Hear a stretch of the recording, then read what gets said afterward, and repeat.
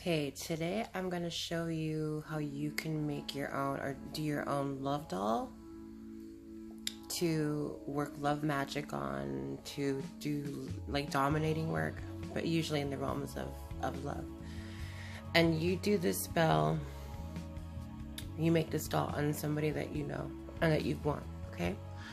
So I'm going to show you how to how I put the doll together and how to utilize it and I use certain herbs, you have to use the herbs that I am showing you.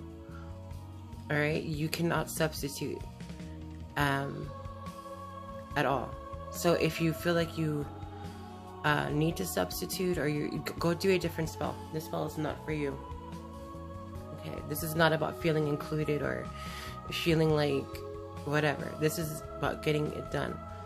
All right, so this is the doll okay? And it's kind of anatomically correct, right? And so, when you make the doll, you want to use a pinkish, a dark pinkish material, okay? Why?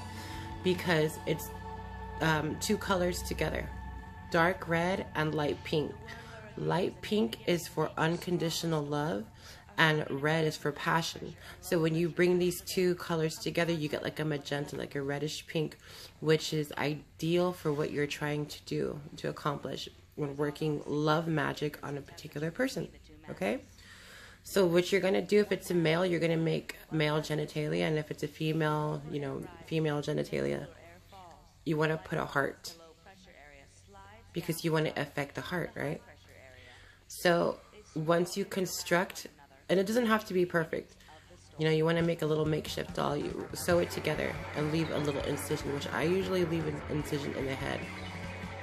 Now, for stuffing, you're going to stuff it with like some cotton, but you're going to leave some room because you're going to add the following herbs. This herb, yo puedo más que tú, which means I can more than you. I'll just show you what it looks like. I keep my herbs in a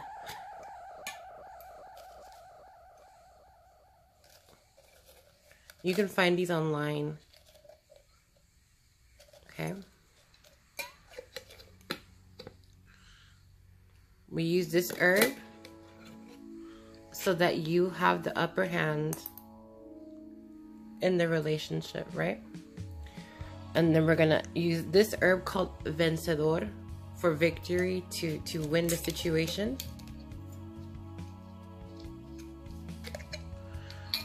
And I keep the sticks too. But it looks kind of like that. You can go online and type these herbs in to see what they look like and where you can get them. There's a lot of websites that you can find to where you can purchase these specific herbs. And then you're going to use this herb is called Amansa Guapo to tame the bully in English, but this is to like dominate somebody. So, and these are very powerful herbs to use. And it's best to get them from a reliable source where they do like a ceremony over the herbs and put life into them because you want to make sure that your herbs, you know, work for you and that are alive. You want to use orris roots. Okay. Calendula leaves. And I put some John the Conqueror root. Well, mainly the root. You can see that. Okay. You're going to use your perfume, your personal perfume. And if you're able to, get, um, use some pheromones. Pheromonas. Okay. It doesn't have to, this is the only thing you can substitute in this, okay? Um, or you can go without it. I like to use pheromones. These are perfumes. You don't have to get the specific brand, but if you go to your botanica, you can find perfumes that contain pheromones. Okay. All right, so once you've constructed your, your doll and you have all your herbs and the name of the person and the picture of the person and their birthday inside the doll, you can start working. Okay?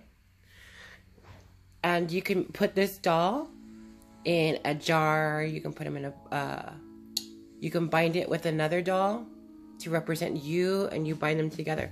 But I have this ribbon. You can use, you use ribbon. All right. And this particular ribbon, it doesn't have to be,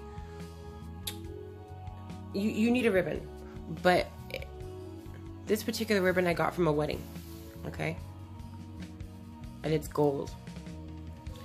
Your ribbon doesn't have to be from a wedding, but it ha you have to have a ribbon. Why? Because I'm going to show you. Okay, so you're to take the doll once you've you've baptized it and brought the doll to life, right? And the way you do that is different for everybody, but usually what I do is I blow cigar smoke all over the doll to instill breath and I spray rum from my mouth onto the doll to give it life. You know, and then I, I, I, it's ready. So you're gonna take your ribbon, right? And you're going to begin binding the doll, right? And you can say something like, in the name of the Father, the Son, and the Holy Spirit, I bind such and such, whoever their name is, I bind all five of their senses to me so that they are sweet to me, so that they are loving to me, so that they only think of me, so that they only desire me, you know, whatever. And then you're going to tie it together in, in, in knot so, right? With the first knot, I bind their five senses to me. With the second knot, they love me. With the third knot, I capture their heart, body, mind, soul, and spirit, or whatever you need to say. But make sure that you do an odd amount number of knots. Okay?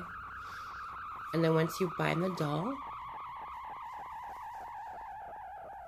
you can place it in a jar and work the jar. You know. Okay, so once you bind the doll, right? to add your essence to the doll, you're going to take your personal perfume and spray the doll, imbuing it with your essence and connecting you to the person. Right? And then this is where I take my pheromones and I spray the pheromones to just incite lust, right? And sexuality.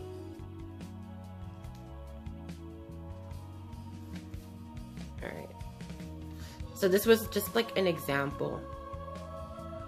But the construction of the doll, you need to use these herbs for my doll. If you're gonna do a different doll, then do a different doll however you want. But for my doll, you need to use these herbs. Because they give the most effectiveness.